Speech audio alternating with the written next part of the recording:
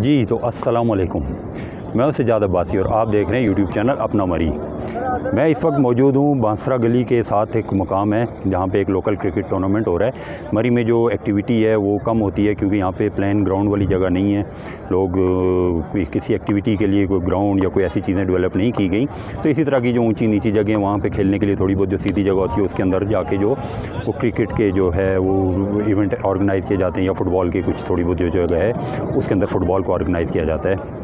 تو یہ جو ٹورنامنٹ آرگنائز کیا جا رہا ہے، یہ چٹا موڑ اور بانسرا گلی کے بیچ میں ایک مقام ہے۔ تو چلیے آپ کو دکھاتا ہوں کہ اس وقت جو ہے یہاں پہ کیا ماحول ہے، کیا سچویشن ہے۔ اس وقت یہاں جو دو ٹیمیں وہ آپس میں اس وقت موسم بہت ہی خوبصورت ہوا ہوا ہے۔ آپ اگر سامنے دیکھ رہے ہوں، بادل آئے ہوئے ہیں، ہلکی ہلکی بارش ہو رہی ہے۔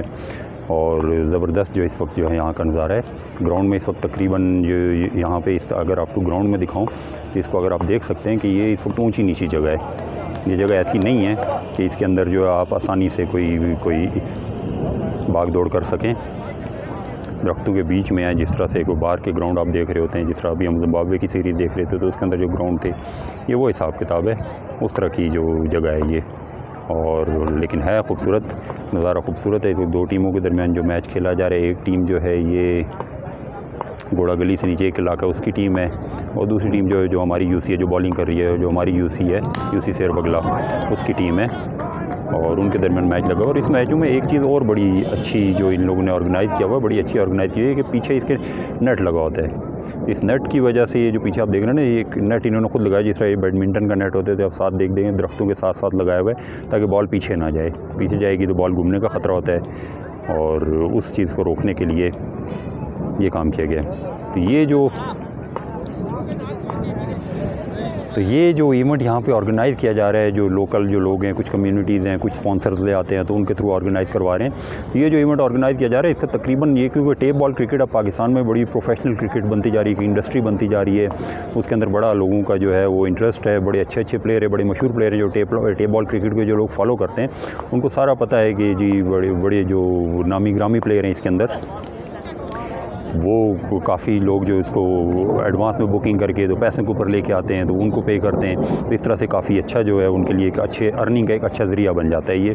اور اس ایونٹ کے اندر جو تقریباً ابھی یہاں جو میری آرگنائزر سے بات ہوئی ہے اور ان سے جو میں نے پوچھا ہے، وہ تقریباً چار لاکھ پلس میں جو خرچہ ہے ٹوٹل جیتنے والی ٹیم جو ہے اس کو ایک لاکھ روپے دیا جائے گا، جو رنر اپ ہوگی اس کو پچاس ہزار روپے دیے جائیں گے۔ پھر چار موٹر بائکیں جو best player of the tournament tournament میں پراؤڈ کے لیے ایک بائک رکھا گیا ہے، جو لوگ آ کے اپنی یہاں پہ انٹری کروائیں گے میچ دیکھنے کے لیے آئیں گے۔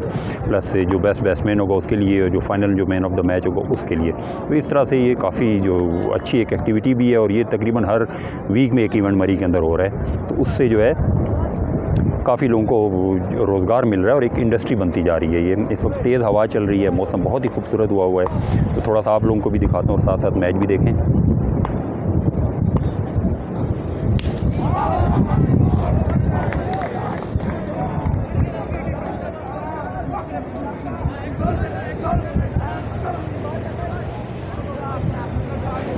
جی تو تھینک یو ویری مچ بہت شکریہ۔ اور اپنا، اپنے چاہنے والوں کا اپنے پیاروں کا خیال رکھیے گا۔ انشاءاللہ آئندہ بھی لوگ میں بھی بات ہوتی رہے گی۔ اللہ حافظ۔